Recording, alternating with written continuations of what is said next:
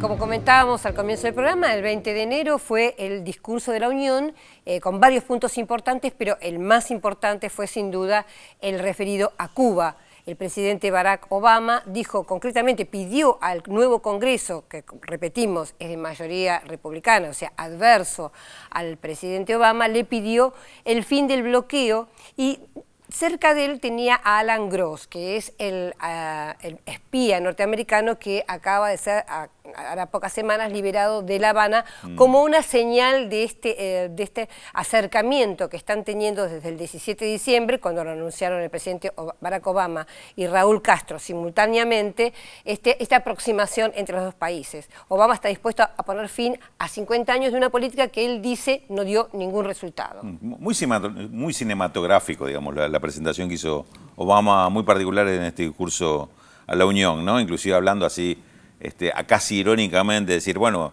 muchachos, si, este, si hace 50 años que estamos probando esto y no da resultado, me parece que es hora de cambiar. Dijo un poco en tono así, para no, no fue un discurso duro de decir, bueno, hay que cambiar el, bloqueo. No están lo condiciones. Mismo, lo mismo que, claro, lo mismo que el saludo que hizo Alan Gross, digamos, todo una, una puesta en escena, digamos, para lo que debe ser para Estados Unidos un momento duro de, asumir este, este, esta, esta situación y generar además el buscar el acuerdo con, el, con los republicanos. Con su enemigo, con uno de los enemigos históricos. Y fíjate que los republicanos habían llevado a su vez a sus invitados, que eran la mayoría mm. de origen cubano, totalmente opuestos a la, la, aproximación, al fin del bloqueo, etc. Así que había, como vos decís, una puesta en escena, pero también una puesta en escena de los dos bandos. ¿no? De, la respectiva platea. Vamos a compartir eh, algo de este discurso de Obama y también del eh, inicio de las conversaciones en eh, La Habana con las dos representantes, una por, por, cada país. En este caso,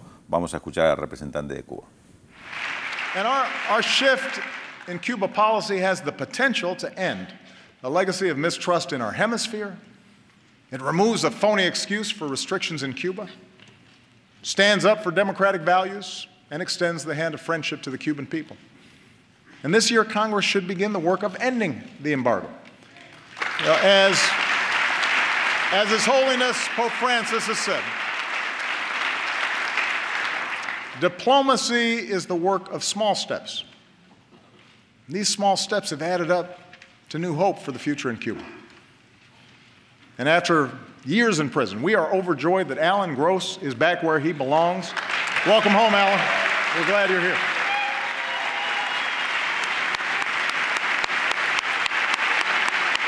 Una buena parte de la reunión de la tarde la dedicamos también a pasar revista a temas de cooperación. Eh, no solo examinamos eh, cómo marcha la cooperación que hemos ido desarrollando en algunas áreas de interés común, sino que hablamos sobre las posibilidades de ampliar la cooperación en nuevas esferas. Yo confío en un futuro mejor para nuestros países, en eso confío. Eh, somos países vecinos, eh, tenemos profundas diferencias, como dije en la mañana de hoy, eh, pero hemos visto cómo en el mundo países con profundas diferencias pueden convivir pacíficamente, civilizadamente, en función de encontrar solución a problemas comunes y contribuir con ello a un mejor bienestar para nuestros países y para el resto del mundo. En eso confío.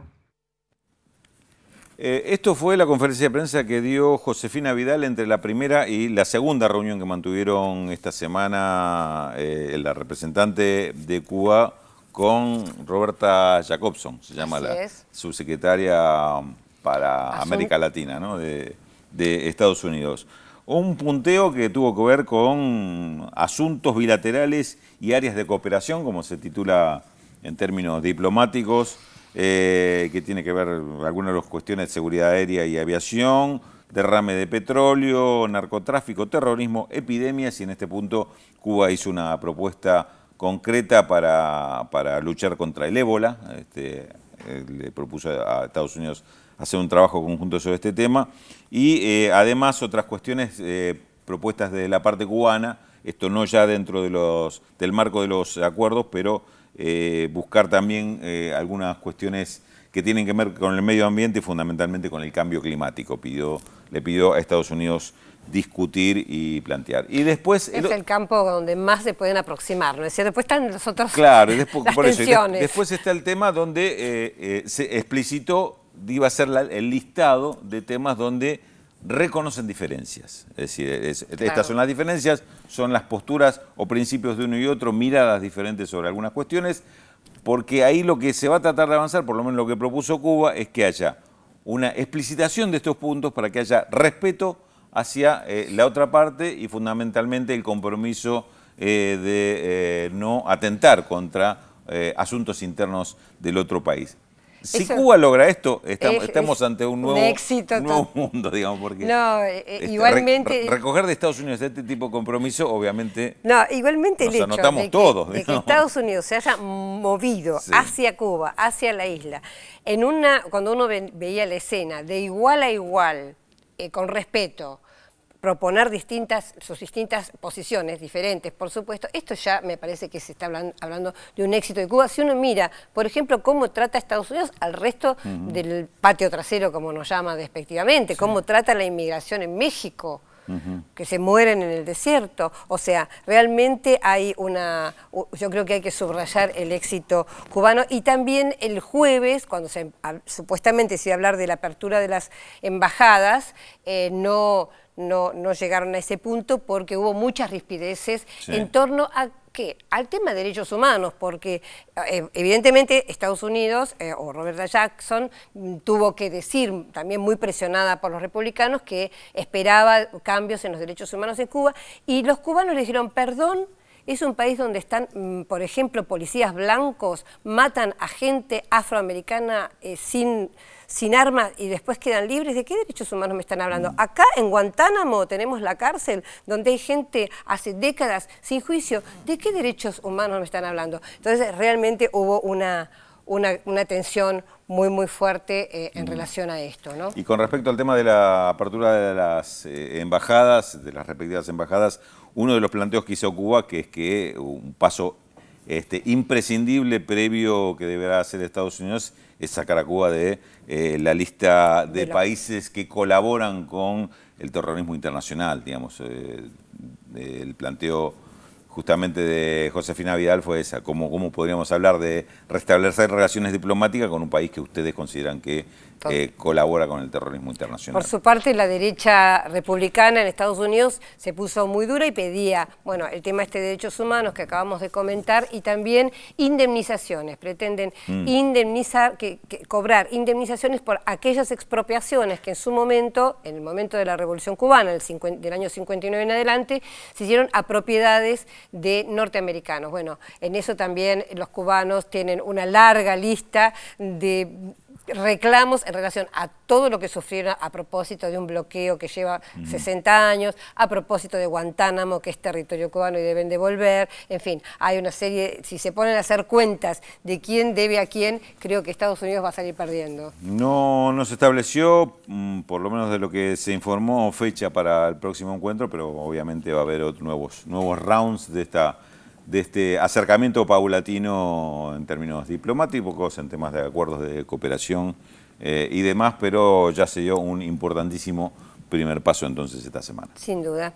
Félix. Sí, muchos mensajes, Telma y Rulo. Enriqueta de Villa Madero dice que quiere un programa especial para saber cómo está enquistada la ultraderecha en América del Sur, se pregunta. Iván de Recoleta acierta con la incógnita. María del Carmen no acierta con la incógnita porque no es Jean-Paul Belmondo. ¿Eh? Así que, lamentablemente, Susana y Julio de Travesía de Córdoba, que son seguidores fieles, dice, somos fundamentalistas del programa y decimos que el de la incógnita es el que es, claro, porque ellos siempre aciertan. Claudia de Recoleta dice que la ultraderecha europea es igual a la islámica. Marta de Lomas, Europa es de naturaleza racista. Carlos de Villa Allende en Córdoba acierta con la incógnita. Susana de Barrio Norte dice que siempre ve Visión 7 Internacional. Y Ulises de Caballito nos quiere felicitar y dice, me sorprende que las incógnitas siempre sean extranjeras.